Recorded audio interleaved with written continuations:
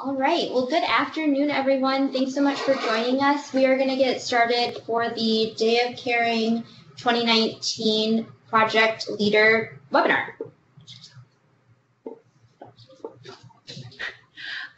Hey everyone, my name is Alexia Clapp. I'm a volunteer engagement manager here at United Way. Uh, I'm here with my colleagues Nadia and Nigel. Um, Nadia and I are going to go through some slides with you all, um, and Nigel will be keeping an eye on the chat inbox for us. Um, we've got you all muted for now since we're a pretty big group, um, but feel free to throw any questions uh, in the chat inbox as we go, and we will stop periodically to address them.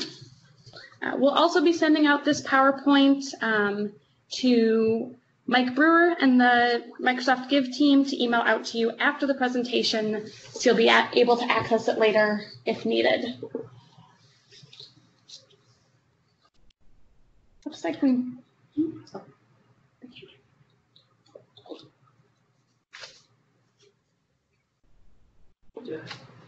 Oh.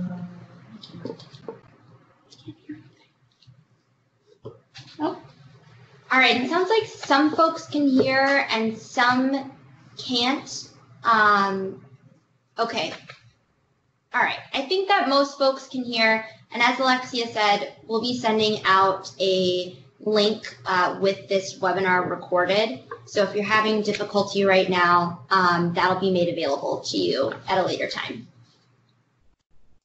All right, so in terms of agenda, we're going to be talking about Microsoft and Day of Caring background, your role as a project leader, registering and using the website, best practices and resources, and lastly, the Microsoft Volunteer t-shirt distribution.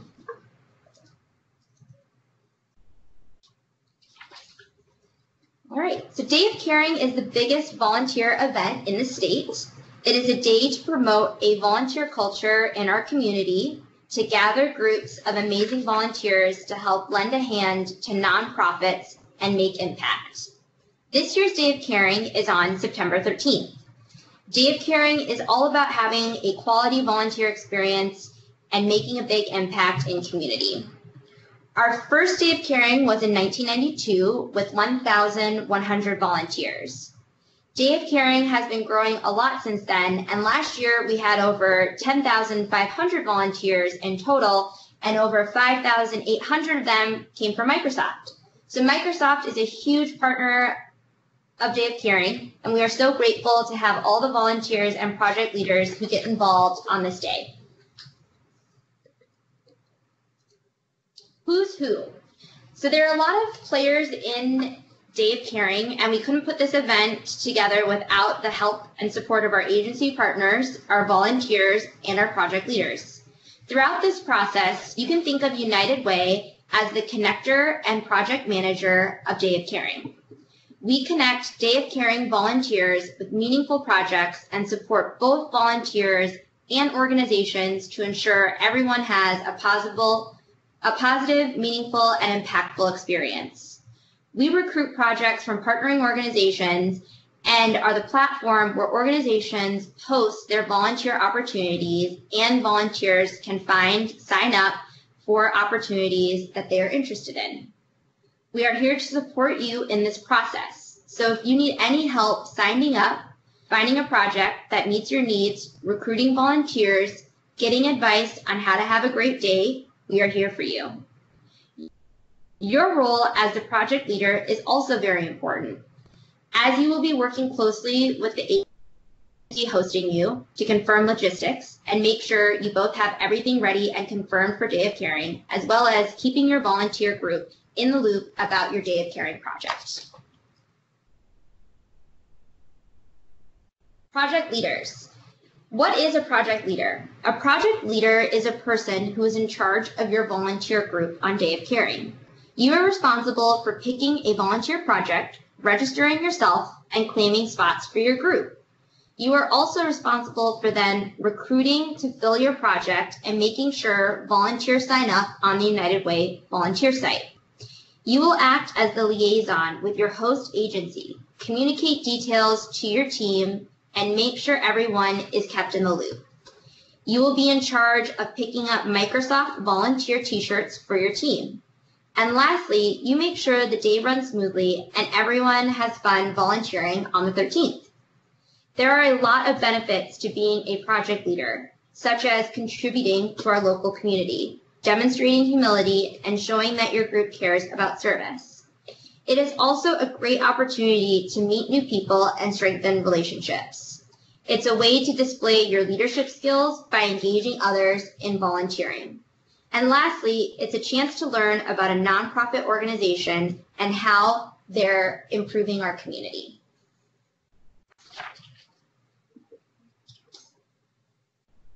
All right, so moving on, um, we're going to talk through the instructions for uh, registering for your project.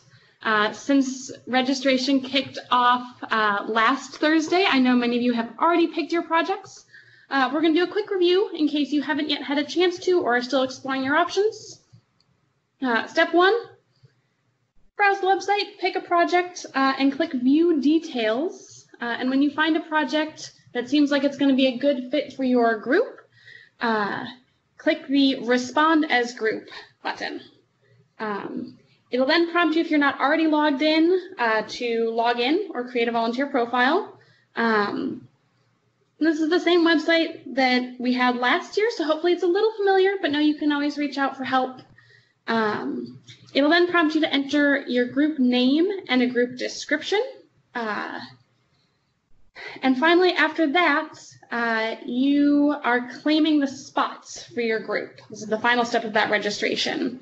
Uh, so you click Add Member um, and add yourself first, which makes you the project leader. Uh, that can be changed later if it turns out that you are not going to be leading that group, if you're signing up for a couple different projects on behalf of your team. Uh, you'll answer the questions listed, uh, what company you're with, uh, and since we are all, you all are with Microsoft, your shirt size. Um, and finally, very important, uh, it asks how many additional spots you want to claim for your project. So if you are a group of 20, you want to pick 19 uh, so that it's you plus 19 folks uh, for that total group size.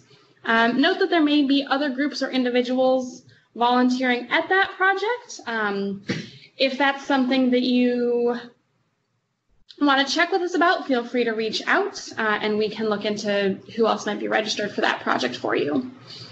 Once you register, uh, you'll get an automatic email from no reply at galaxydigital.com uh, confirming your registration.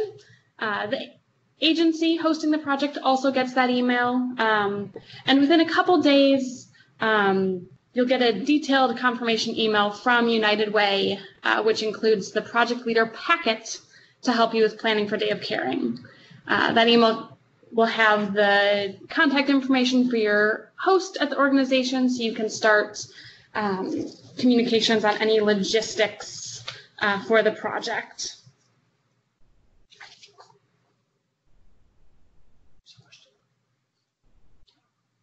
All right. Um, yep, so we do still have more projects coming in. Um, I can tell you that we had almost 9,000 spots available when we opened registration last week, and projects are still uh, coming in. So if you're not seeing what you need, please do continue to um, check back. All right. Uh, so once you've registered, uh, you can always go back and view that project registration uh, by logging in. Uh, you'll see your initials in the top right-hand corner of the page. Uh, and if you click that drop-down menu and go to My Groups, um, you'll then see the uh, group that you've registered.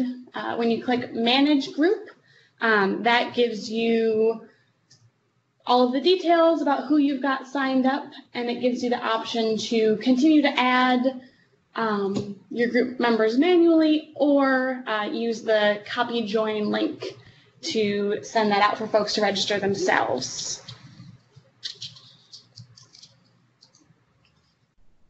Um, like Nadia said, um, it's really important to, um, you know, recruit your full team to fill out those slots that you've claimed, um, but we do need everyone registered uh, by name in the system. Um, you have two options for doing that. Uh, there is the join link um, that you'll find in that manage groups section. You just paste that into an email, um, send it out to your team. If you were looking to recruit, you know, more broadly, you could post it on social media or anywhere else. Um, but folks registering through that join link will be automatically added to your specific team. Um, when someone clicks on the link, they'll need to create an account or log into their existing account uh, in order to see the project uh, and respond so that they're added to your team. Um, you also have the option to add group members manually uh, if you don't want to do it through the join link. Um, just know that you will be asked, um, you know, for their email, first, last name, and t-shirt size. Um, so having that ready when you go to do that. Um, we ask you to sign up all your teammates so that the agency knows who to expect, um, and also to satisfy some liability purposes. Uh, you're expected to fill all spots that you claimed. So if you do, you know, find out later that you're not going to be filling all those spots, please let us know um, so we can adjust your registration and uh, help the vol- help the nonprofit find uh, some additional volunteers. Um, a little bit of incentive. Wanted to highlight that we're going to be doing a drawing uh, for project leaders who get their teams registered. Um, you'll see on some of our other materials that the deadline for registrations is uh, August 30th. Uh, but if you have 80% of your team registered by August 20th, we'll be entering you um, to win one of two $50 gift certificates to Ethan Stowell restaurants. Um, and finally, please um, be sure to, you know, as you get more information from your organization host, uh, communicate those details out to your volunteer group, uh, making sure that they are kept in the loop. We have one question that just came in. If we have more people than slots there are in an activity, is there a way to reach out to the organization to see if they could host extra hands? Uh, yes. So if you do find yourself in that position, please let your organization host know. Um, do be mindful of the fact that um, you know these projects have been posted with you know a given capacity, and that may be firm for that organization. They may not be able to, you know, fit more people in that room or provide tools outside of uh, the group size that they initially set, uh, but it doesn't hurt to ask. Um, once they have, and if they have approved uh, that request, please let um, us know here at United Way so that we can um, adjust your registration. Um, you'll notice that as a project leader, you don't have that capacity to add spots. Uh, that's something only um, my team here at United Way can do. So once you've confirmed that with the organization that they're okay with a few more people, let us know. How would they get in contact with the organization? Uh, the organization contact information is in your project leader confirmation. So now that we've gone through the registration process and signing up yourself and your team for a project, uh, we're going to move into uh, talking about tips for success as a project leader. So uh, here are some uh, tips for having a successful day of caring. Prior to the project, we recommend that you get everything confirmed with your host organization. Confirm the time frame, lunch plans, driving and parking directions, day of contact information in case anyone gets lost or has issues, and make sure everyone in your group is kept in the loop. One tip for lunch is if you are volunteering with other groups and want to bring lunch for just your group, make sure you coordinate with the agency and have a separate area or conference room where your team can gather for lunch. Also, we highly recommend considering a site visit prior to the project. It is a great opportunity to meet with the agency staff and get a sense of the project and layout so you can feel confident in assisting and leading your team on the actual day of caring. We also recommend that you share all the project deal details with your teammates, especially if something has changed since you and your teammates have signed up. Make sure to provide them with the address, directions, parking, and day of contact information. The better the communication and planning, the more smooth your project will run on the 13th.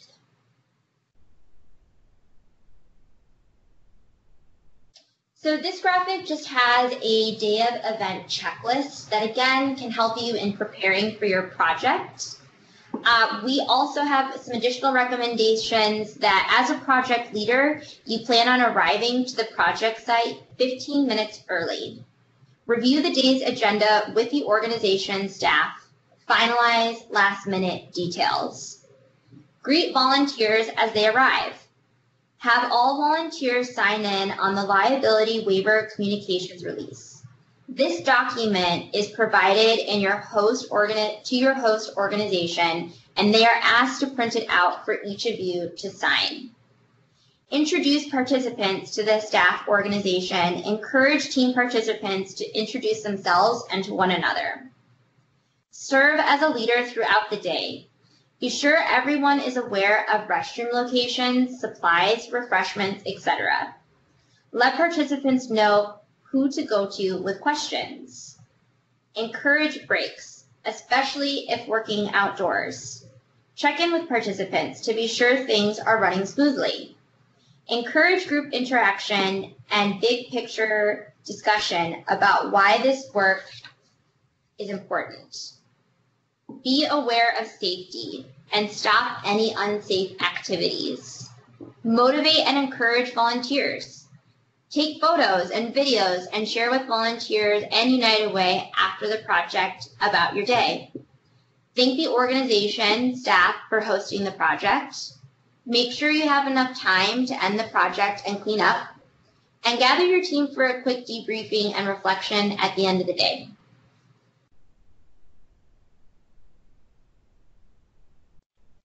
All right, so one change with Day of Caring this year um, is that there are no United Way uh, Day of Caring t-shirts. Um, Microsoft uh, is providing employee volunteer t-shirts to you all. Um, and they'll be sending out uh, more details about this, but right now just mark your calendars. September 9th, t-shirt pickup will be taking place at the Microsoft Redmond campus. Um, and as a project leader, you are asked to uh, pick up t-shirts for your group.